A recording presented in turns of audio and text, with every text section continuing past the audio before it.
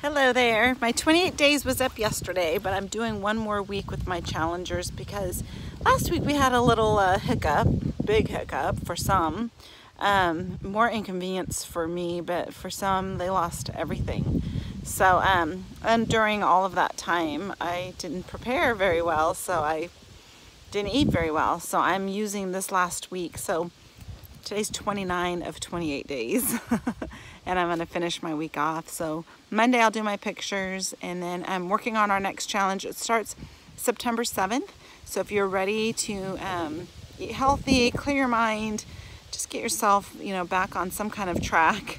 Um, it's better to plan and prepare. I did realize that. Um, and I'm doing that this week. So day two of that. Um, we can always start over, as you know. So um, workouts are really, really tough right now this week at our gym and with Shred to Fit.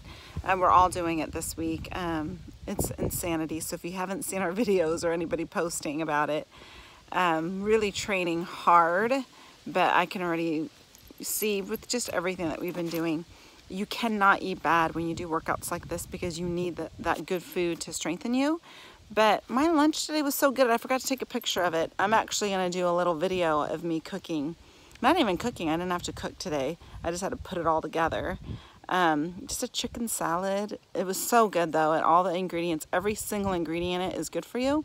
And it was delicious. So, and it's super easy to make. So I want you all to know when you do our challenges, it's not very hard to prep your stuff. It's everything is conveniently made. Also, whether you're vegan, whether you're, you know, keto, whatever, you can tailor our, all of our meal plans. I give you a swap list. So that swap list, if you're not into red meat or if you want to eat, you know, vegan, you can swap out those proteins for whatever protein you want.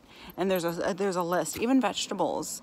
We categorize all the vegetables. So if you don't want this vegetable, you can swap it for something else. So you can truly tailor our um, meals to your liking and still get the great results nutrition wise as far and as far as weight wise um, you can tailor it to yourself. Men you get to eat a little bit more because you guys need a little bit more. So everything is tailored to your liking because the goal is not just to lose weight but to sustain so, so that you can live this way. I've been living this way for a while so when I fall off it's not a tragedy. I know how to get myself back on and I don't allow myself more and more and more days till it downward spirals. But even then, it's never too late to, to recharge and get back into it. So let me know if you have any questions. Um, hope you're having a great day.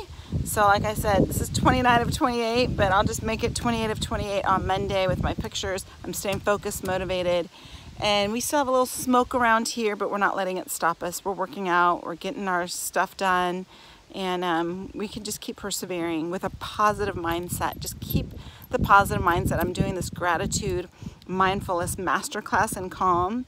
And even when all the chips are up against us, it's our attitude. It's our attitude and how we see things, and that's how we can move forward.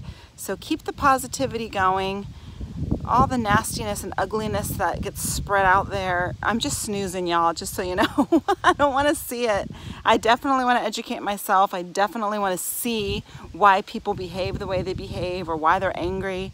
You know, I want to find solutions. I'm definitely proactive, but just spreading nastiness around, um, it just doesn't help anyone. So if you have a solution, if you're trying to like make the world a better place and you've got ideas, let's hear them, but just posting nasty things and not having any way to like find a solution, it's just a waste of time. We are all educated and smart enough to know what we want and know what we're doing.